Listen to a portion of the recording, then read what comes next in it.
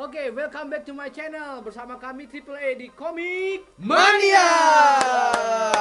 Oke. Ini siapa Bor ngomong-ngomong Bor? Kebetulan teman kita nih dinas, dinas Ah. ke Jepang. Aduh. dipanggil Pak. Dia ke Jepang mulu Iya. kira Ngapain tuh kira-kira apa ya? Hah? Ya, Pan- kita panggil kapan? Kaido, dipanggil Dipanggil Oh, Kaido, iya, disuruh siap. menghadap gitu ya. Oke, oke. Oke, kenalin nama gua Pip Badaruzzaman. Cakep. Dan kita akan eh, kembali meneruskan cerita-cerita tentang yang eh, tentang One Piece ya. Hmm. One Ya, Piece. One Piece, One Piece. Balik Ah, lagi ke One balik lagi Piece. One Piece mah satu ikan, Pak. Tema yang akan kita bahas ini eh, Kozuki Oden ya. Oke, oke. Nah, karena sekarang itu di komiknya eh lagi flashback atau apa sih ceritanya? Menceritakan Kozuki uh, Kozuki Oden. Jadi sebenarnya apa yang sedang terjadi dengan uh, Kozuki Oden ini? Kita Pak? tanya bintang tamunya Oh iya dah, gimana Pak? Menurut Bapak nih gimana nih? Tokohnya itu luar biasa sekali ya. Hmm.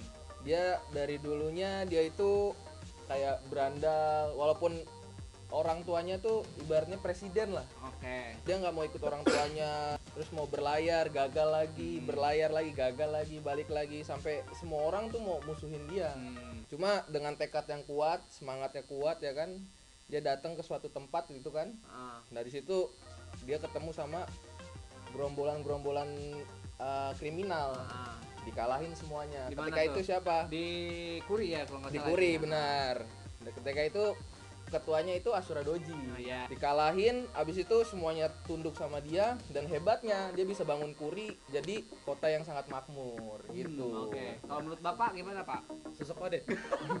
Bapak yang ini ketawa-tawa aja nih. Biar saya ngobrol. Sosok, sosok Oden, Pak. Ah. Ya biasa aja sih Pak sebenarnya. Ya kok biasa Ya iya, Pak. Kan Oden toko, toko komik udah Nah, biasa itu aja. iya pandangannya sebagai seorang pembaca gratisan gimana menurut?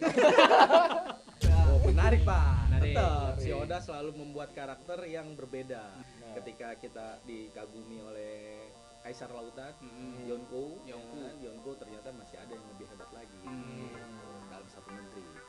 Kalau menurut gua sih eh, sosok Oden yang sekarang diceritakan itu dia tuh sosok yang sangat berkarisma lah gitu kan ya. Dia bisa diikuti oleh banyak eh, pengikut tanpa Hmm. dia mengajaknya gitu loh. Luffy kan begitu juga, Pak. Enggak kalau Luffy kan secara ada omongannya gitu. iya Kayak Joro. Joro, maukah kau menjadi eh, rekanku? Ya kayak si apa si Asura Doji, terus si Kinemon dan lain Hmm. sebagainya. Dia tuh kan diselamatkan eh, tapi dia langsung mengikut gitu, langsung nempel aja ke mana-mana. Termasuk waktu pas ya, Pak. terus kira-kira eh, ini kan bercerita masih masih kayaknya masih panjang nih cerita di komiknya sendiri. Iya. Kira-kira Bapak bisa menebak gak sih ujungnya itu bakal seperti apa gitu? Mati Pak Oden, Pak. Ya udah jelas sih. Itu Eksekusi, Pak, Pak. mati, Pak. Udah 20 tahun yang lalu itu. Ujungnya itu 30 tahun yang 30. lalu. 20. 30.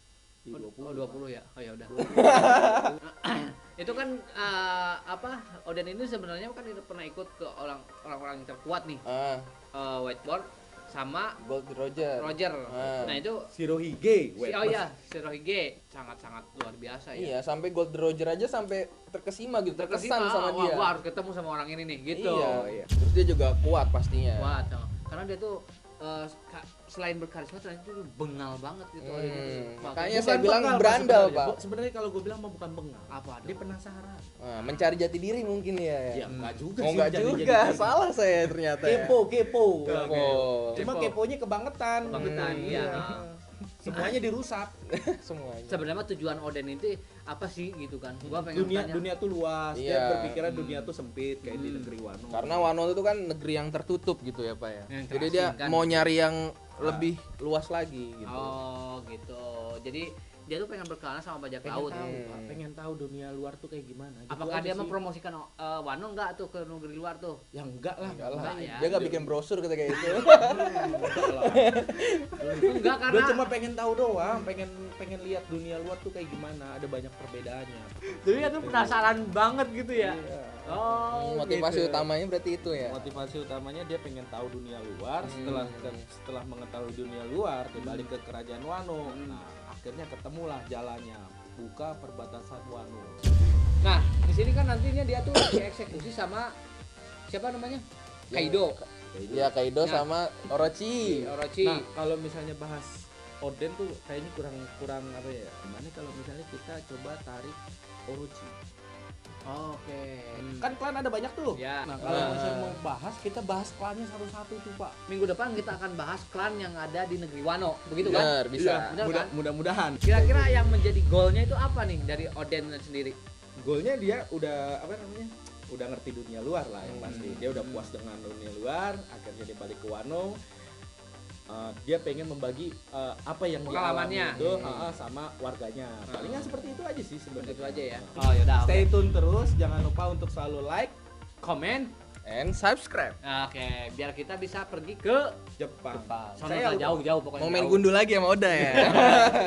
Oke, sampai ketemu lagi minggu depan ya guys. Ya. Bye-bye. Bye-bye.